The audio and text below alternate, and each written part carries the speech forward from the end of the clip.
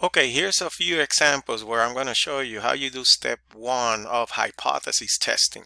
And my first suggestion is um, that you underline the claim. Once you underline the claim, then you're going to translate literally what you read, and then you do the rest of the process. Here's what I mean. Okay, so we're going to do problem number 25 here. Okay, and it says that a lock manufacturer claims that the mean life of the battery for a certain model of laptop is more than six hours. So in this problem here, there's a company who claims that the mean life of the battery is more than six hours. See, I underline the claim they're talking about the mean, the average life. See, that's from the population of the batteries. And they claim that the mean is more than six hours. So how do you write that? Well, mu, because we're working with population, that's the mean is more than six hours, you will write it like this, greater than six. And I like to put in parentheses the word claim because this was my original claim. This was the claim that was stated in the problem. Okay, and every claim, keep this in mind, every claim has a counterclaim. And how do you say the counterclaim? State the opposite. What is the opposite of being greater than 6? Or oh, that you are lower, less than, or equal than 6. This is the counterclaim. Okay, so every time you underline the claim, you translate it into words. You're going to put in parentheses the word claim because that was the original claim stated in the problem. And then every problem or every claim has a counterclaim. So you have to come up with this. You have to state the opposite of the original claim. And the next step is to label these claims as HO or HA, the null hypothesis or the alternative hypothesis. Whatever claim has the equal sign, like the one on the top here, we're going to label that as HO, the null hypothesis, okay? and the claim without the equal sign like the original claim here it will be labeled as HA or sometimes they label as H1 it really doesn't matter it's the same thing okay? And that was for problem number 25 let's do another one. So you start getting the hang of this okay? Let's say for example that I do um, problem number 28 okay? And let's read it. It says an amusement park claims that the mean daily life attendance at the park is at least 20,000 people. So what are, what are they talking about the amusement park? What is the claim of this park? See here the keyword claim. Whatever comes next, that's what I need to translate or underline in this case.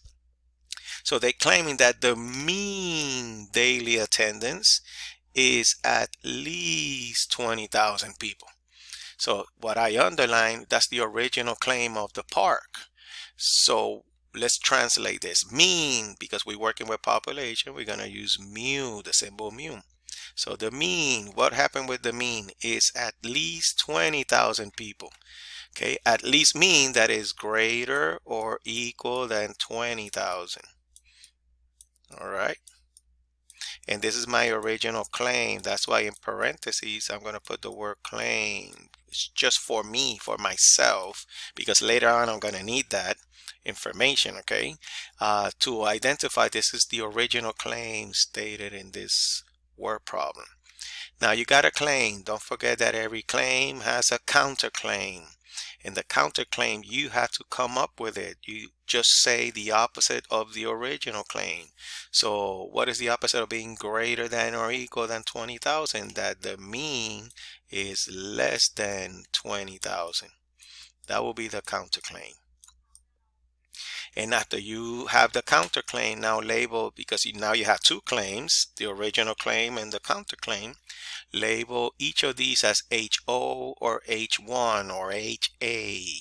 Okay, so whatever has the equal sign, that was the original claim. That will be HO.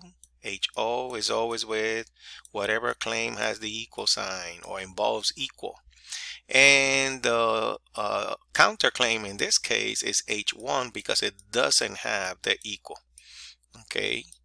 So HO always has the equal H1 or HA doesn't have the equal and that's how you do problem number 28 all right? Let's do one more.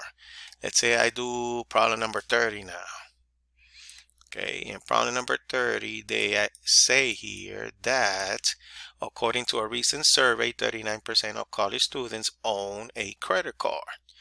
Now in this problem we're working with percentages okay? So that means the claim is about uh, proportion P.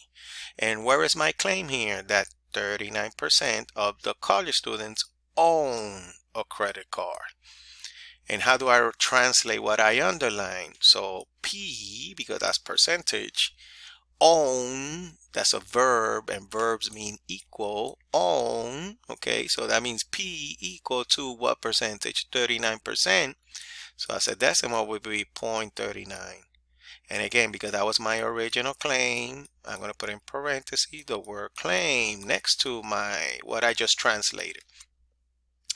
You have the original claim, but every claim has a counterclaim, so we need to now state the counterclaim. So P, and what is the opposite of being equal to 0.39? Not equal to 0.39 and this will be my counterclaim. Now I need to label the claims because I have two claims, the original claim and the counterclaim.